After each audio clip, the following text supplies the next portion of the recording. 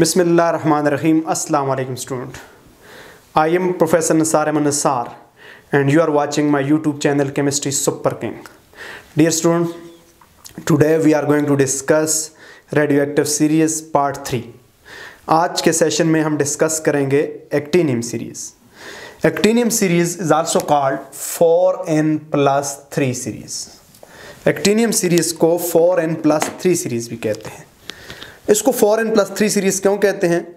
चूँकि इस सीरीज़ के मेंबर के मैथ नंबर को जब हम चार से डिवाइड करते हैं तो हमारे पास थ्री रिमाइंडर आता है। तीन बच जाता है। स्टूडेंट याद रखिएगा, इस सीरीज़ का स्टार्टिंग एलिमेंट शुरू शुरू में समझा जाता था एक्टिनियम है। कि actinium was one time third to be the starting element of this series but later on it was known.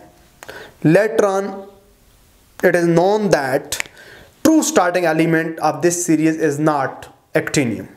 Rather it's a uranium 92 235 which is radioactive. And after successive disintegration of this starting element this series end at stable isotope of lead which is 207 याद रखिएगा student ये कई बार public service commission के exam में आ चुका है कि यूरेनियम सीरीज़ का एंड प्रोडक्ट क्या है स्टार्टिंग प्रोडक्ट क्या है। थोरियम सीरीज़ का एंड प्रोडक्ट कौन सा है? लिखा होता है लेट 206 लेट 208 लेट 207 तो आपने राइट ऑप्शन चूज़ करना होता है।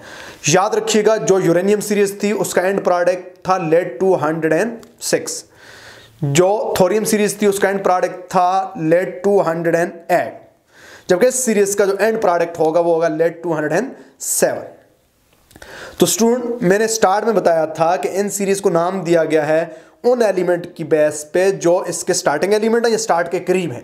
अब यहाँ पे स्टार्टिंग एलिमेंट यूरेनियम है, लेकिन चूँकि यूरेनियम सीरीज़ ऑलरेडी हम पढ़ चुके हैं, इसलिए इसके स्टार्ट के करीब जो एलिमेंट है उसकी बेस पे इसको नाम दिया गया, चूँकि थोरियम की भी अपनी सीरीज़ है, एक्टिनियम के बेस पे नाम दिया गया, चूँकि शुरू शुरू में ये समझा जाता था कि सीरीज़ एक्टिनियम से स्टार्ट होती है।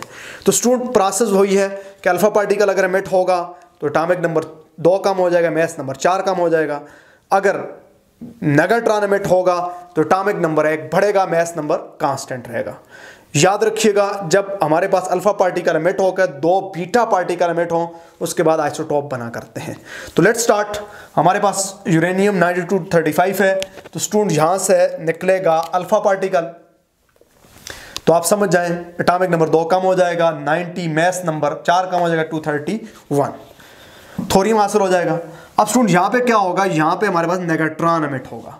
तो एटॉमिक नंबर एक बढ़ेगा मैस नंबर वही रहेगा, यानी ये आइसो बन जाएँगे। अब स्टूडेंट इसके बाद हमारे पास निकलेगा अल्फ़ा पार्टिकल जब अल्फ़ा पार्टिकल निकलेगा तो एटॉमिक नंबर दो कम हो जाएगा मैस नंबर चार कम हो जाएगा। तो हमारे पास 91 के बजाय 89 231 के बजाय 227 एक्टिनियम बन जाएगा। अब यहाँ से दो पाथ हैं। पहले अल्फ़ा पार्टिकल निकल के फिर बीटा पार्टिकल निकल सकता है। पहले बीटा पार्टिकल निकल के फिर अल्फ़ा पार्टिकल निकल सकते हैं। दोनों के केस में एंड प्रोडक्ट सेम होगा। हाँ दरमियान वाला एलिमेंट जो है इंटरमीडिएट वो डिफरेंट हो सकता है, बल्कि होता है। यहाँ पे स्टूडेंट क्या होता है? देखें, जब अगर हम नेगाट्रॉन एमिट करेंगे तो टॉमिक नंबर एक बार जाएगा थोरियम आ जाएगा, और मैथ नंबर क्या हो जाएगा? मैथ नंबर 227 अब स्टूडेंट जरा गौर करना। अल्फ़ा पार्टिकल निकले, दो बीटा पार्टिकल निकले। बीटा पार्टिकल निकले, बीटा पार्टिकल निकले, फिर अल्फ़ा पार्टिकल निकले।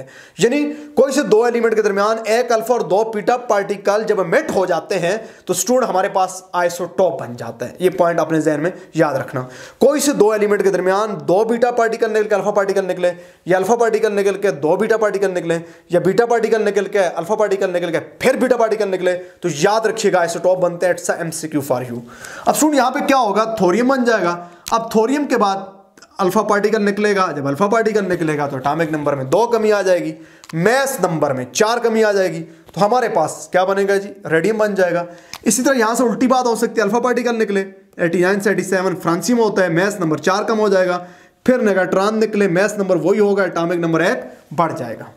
तो हमारे पास आ जाएगा रेडियम 88 223 यहाँ से स्टूडेंट हमारे पास अल्फ़ा पार्टिकल एमिट होगा। तो हमारे पास रडान बनेगा, एटॉमिक नंबर 86 मैथ नंबर 290 अब ये रेडान निकालेगा अल्फ़ा पार्टिकल। तो एटॉमिक नंबर दो कम हो जाएगा पोलोनियम 84 मैथ नंबर चार कम हो जाएगा 215 यहाँ से फिर अल्फ़ा पार्टिकल निकलेगा। तो एटॉमिक नंबर मेरे पास क्या हो जाएगा, स्टूडेंट? एटॉमिक नंबर मेरे पास दो कम हो जाएगा और मैथ नंबर चार कम हो जाएगा, लेड 82 211 ये बन जाएगा जी। अब स्टूडेंट इसके बाद क्या होगा? इसके बाद हमारे पास निकलेगा यहाँ से नेगाट्रॉन एटॉमिक नंबर एक बढ़ेगा बिस्मत बन जाएगा। 83 मैथ नंबर वही रहेगा। अब ये दो पाथ से जा सकता है। ये अल्फ़ा पार्टिकल अगर मिट करेगा तो दो एटॉमिक नंबर कम हो जाएगा। थैलियम बनेगा मैथ नंबर चार कम हो जाएगा। 207 थेलियम 81 207 यहाँ से ये नेगाट्रॉन एमिट करेगा एटॉमिक नंबर एक बढ़ जाएगा मैथ नंबर वही रहेगा। अगर इस पाथ से पहले ये निकालेगा नेगाट्रॉन।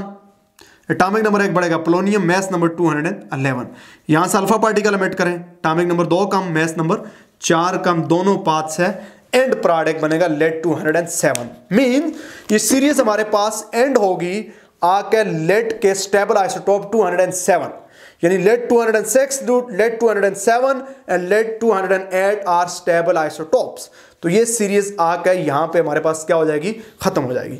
तो स्टूडेंट ये हमारे पास तीसरी सीरीज़ थी जो naturally occurring radioactive element की थी, जिससे number of radioactive element बनते थे, जिसको हमने नाम दिया यूरेनियम सीरीज़ का, जिसको हमने नाम दिया थोरियम सीरीज़ का, और जिसको हमने नाम दिया एक्टिनियम सीरीज़ का।